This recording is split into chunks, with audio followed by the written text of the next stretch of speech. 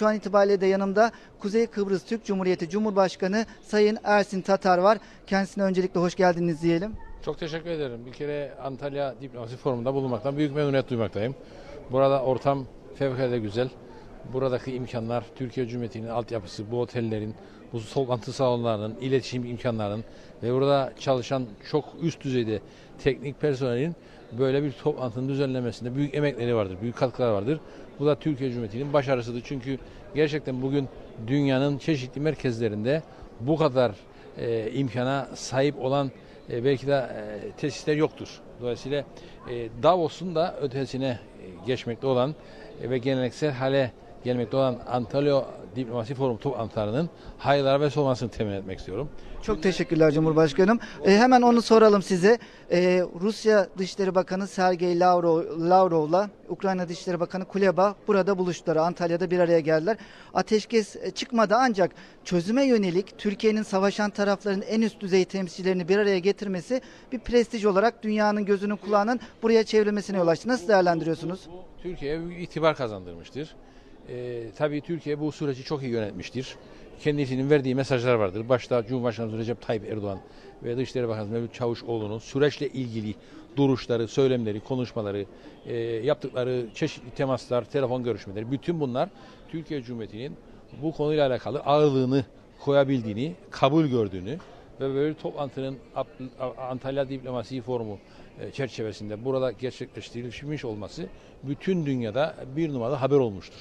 Bütün dünyaya e, mesajlar yayılmıştır ki Türkiye bu konumda bu sürece katkısını koyabilir. Türkiye'nin o ağırlığı vardır. Türkiye'nin bu bölgedeki e, durumu, pozisyonu, duruşu, ağırlığı, ilişkileri bütün bunlar Türkiye'yi bu bölgenin en önemli ülkesi olarak bir kez daha tezahür etmiştir. Bu e, Türkiye diplomasisi adına çok önemli bir e, kazanımdır diye değerli düşünüyorum. Dolayısıyla e, başta Cumhurbaşkanımızı ve Dışişleri Bakanımızı tebrik etmek istiyorum. İki ülkeyle de görüşebilen tek ülke Türkiye. Ve, ve bu süreci tabii ki e, bu bir ilk adımdır. Dün bir netice çıkması zaten beklenmezdi. Ama bu toplantının gerçekleştirilmiş olması, Türkiye'nin bu pozisyonunun daha da e, kabul görmesi o bakımdan bu fevkalade güzel bir gelişme olmuştur.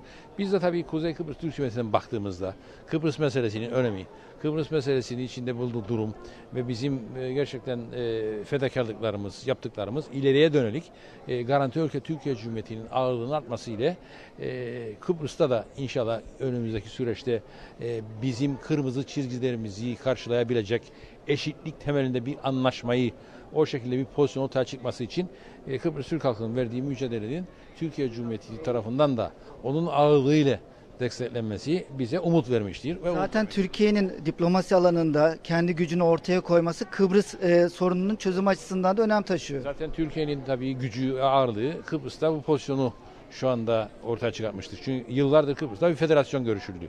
O federasyonda esas itibariyle e, tek egemenlik, tek egemenlikte Avrupa Birliği'nde olduğu için kuzey ile güney ile Kıbrıs Federal Cumhuriyeti adı altında bizleri Türkiye'den kopartmak, Kıbrıs Türk halkını Avrupa Birliği'nin içerisine çekmek ve orada bizi fevkalade tehlikeli süreçlerin bekliyor olması.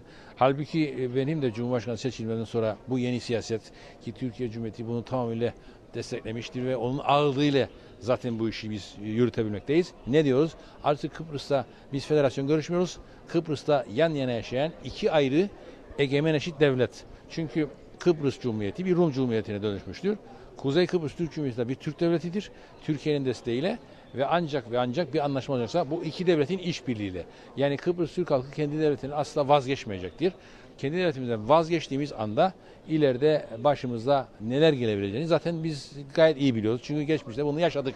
Yani bizi bir kere yaşatmazlar bizleri asimile etmek için, orayı bir Yunan, Yunan adası, Rum adası yapmak için her şeyi geçmişte yaptıkları bundan sonra da yapabileceklerinden hiç şüphem yoktur benim şahsen. Dolayısıyla yeni siyaset yan yana yaşayan iki ayrı devlet, güneydeki devlet Rumların, kuzeydeki devlet Türklerin ama işbirliğiyle iki devlette bir çözümden taviz yok. Avrupa Birliği'nde de yerini alabilir ama bizim her zaman üzerinde ısrar ettiğimiz Türkiye Cumhuriyeti e, bu devletin garantörü olacaktır, garantörüne devam edecektir ve Türk askeri de Kıbrıs'taki varlığını devam edecektir. Çünkü Türk askeri çekildiği anda orada hadiseler başlar. İşte kim derdi ki bu çağda e, Avrupa'nın merkezinde böyle bir savaş yaşanacak. Nerede Avrupa, nerede NATO? hepimiz de görüyoruz. Sadece söylemden ibaret. Aplukalar, ekonomik uygulamalar, şunlar bunlar biraz silah verme ama günün sonunda oradaki savaşı durduramıyorlar. Kıbrıs'ta da durduramamışlardı. 60'lı yıllarda EOK'acılar, kandinoellerle Kıbrıs Türk halkına yaptıkları o saldırıları biz biliyoruz. Çocuktuk o zamanlar ama o insanların nasıl öldürüldüğünü e, toplu mezarlara gömüldüklerini biz biliyoruz. Neredeydi Birleşik Devletler, neredeydi İngiltere, neredeydi diğerleri. Hepsi seyrediyordu. Çünkü o kavga olduğunda giremiyorlar, müdahale edemiyorlar. Ama bizim tabii e, imdadımıza 1970'de Türkiye gelmişti. Türkiye, Türkiye bizim ana vatanımızdır. E, aynı milletin evlatları olarak Türkiye imdadımıza yetişmişti ve ondan sonra tabii Kıbrıs'ta barış ve huzurun devam ettiğini görüyoruz. E, önemli olan bu barış ve huzuru devam ettirebilmektir.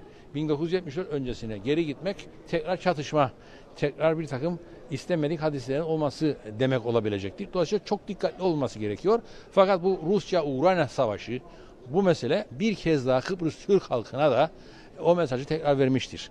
Bizim için Türkiye'nin varlığı, Türkiye'nin garantörlüğü hayati öneme hay- haizdir. Dolayısıyla bu konuda asla bizim taviz vermemiz beklenemez. Kıbrıs içindeki bazı kesimlere de mesaj veriyorsunuz. Kıbrıs içindeki resimlere, Güney Kıbrıs'takılara, bütün dünyada çeşitli platformlarda işte artık Kıbrıs'ta federal temelde ve modası geçmiş garantörlüklerin sona ermesiyle yeni bir Avrupa Birliği mekanizmaları ile Kıbrıs'taki güvenliğin sağlanması noktasında onu söyleyenlere bu çok güzel bir cevap olmuştur. Efendim bir de İsrail doğalgazının Avrupa'ya ulaştırılması konusunda bir İSTMET projesi vardı. Hem e, Kuzey Kıbrıs Türk Cumhuriyeti'ni hem de Türkiye'yi bypass etmeye çalıştılar. Ancak bunun mümkün olmadığını da gördüler. Zaten Amerika Birleşik Devlet- Devletleri de bundan vazgeçti. Öte yandan Türkiye ile İsrail arasında bir yakınlaşma gerçekleşti. Herzog Cumhurbaşkanı, İsrail Cumhurbaşkanı, Cumhurbaşkanı Erdoğan'ı ziyaret etti. İki lider görüştü. Nasıl değerlendiriyorsunuz bu son gelişmeleri?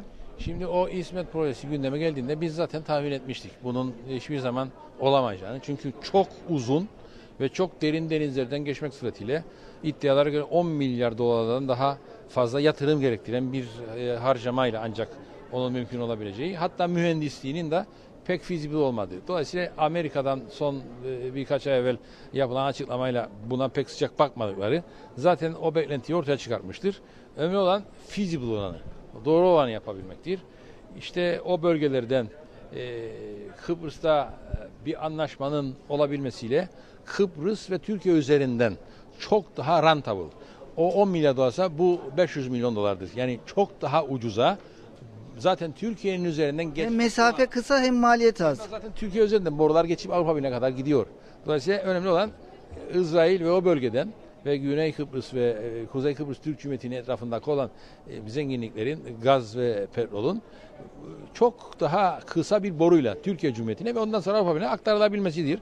İnşallah dediğiniz gibi yeni gelişmelerle İsrail-Türkiye Cumhuriyeti'nin ilişkilerinin daha da iyiye gitmesiyle bütün bunlar önümüzdeki süreçte konuşulabilecektir diye düşünmek istiyorum. Bir, bir yandan da Türkiye'nin Doğu Akdeniz'deki enerji arama faaliyetleri de devam ediyor. Kıbrıs meselesinde de e, bütün bunlar bir kez daha Kuzey Kıbrıs Türk Cumhuriyeti'nin de bir varlık olduğunu, Kuzey Kıbrıs Türk Cumhuriyeti'nin de bir taraf olduğunu da bir kez daha ortaya çıkarmaktadır. Çünkü başka çaresi yok.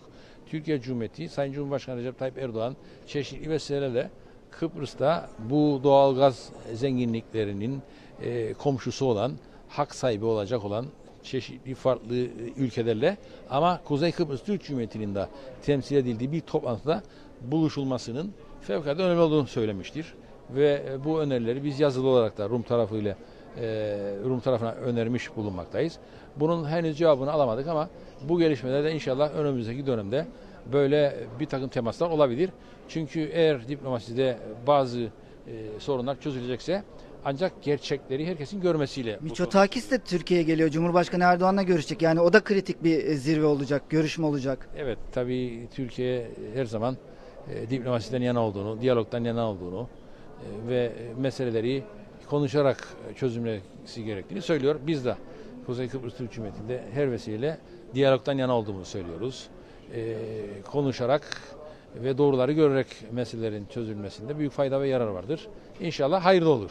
Şimdi Yunanistan Başbakanı Miçotakis'in Cumhurbaşkanı Erdoğan'la yapacağı görüşmeden siz nasıl bir sonuç bekliyorsunuz? Hem bu mültecilerin itilmesi konusu var. Yunanistan onları ölüme terk ediyor. Hem Doğu Akdeniz'de yaşanan gerilimler, gerilimler var. Ege sorunu var. Siz Yunanistan Başbakanı Miçotakis ve Cumhurbaşkanı Erdoğan'ın yapacağı görüşmeden nasıl bir e, sonuç bekliyorsunuz? Tabii Türkiye ziyareti ve böyle bir toplantının olması e, önemli. E, bunun inşallah bir adım olarak iki ülke arasındaki ilişkilerin yumuşaması ve e, bu bölgede barış ve huzura e, bir katkı koyması bakımından önemli olacağını düşün, düşünüyorum, düşünmek istiyorum. E, tabii Kıbrıs ayrı bir mesele. Yani Yunanistan ve Türkiye arasındaki ilişkiler çok boyutludur. Kıbrıs e, başka bir meseledir. E, bu toplantıda belki Kıbrıs gündeme gelmez. Çünkü e, gündem maddesi farklı olabilir. Öyle düşünüyorum. Fakat Kıbrıs'taki pozisyon bizim her zaman e, Kıbrıs'ta iki ayrı devlet temelinde bir anlaşmanın olabileceği noktasında ne biz ne Türkiye bundan vazgeçmez. Vazgeçme. Çok teşekkür ediyoruz efendim yayınımıza katıldığınız için sağ olun. Sağ olun. E, forumlarda da e, çalışmalarınıza başarılar diliyoruz. Çok sağ olun. Konuğumuz Kuzey Kıbrıs Türk Cumhuriyeti Cumhurbaşkanı Sayın Ersin Tatar'dı. Antalya Diplomasi Forumu kapsamında e, gelen liderlerden birisi de Sayın Tatar'dı. Hem Türkiye Kuzey Kıbrıs Türk Cumhuriyeti ilişkilerini hem de genel bölgesel ve dünyada yaşanan gelişmeleri değerlendirdik. Bizim buradan gün boyu konuklarımız olmaya devam edecek. Seyircilerimiz bizden ayrılmasın diyelim ve sözü yeniden İstanbul'a bırakalım.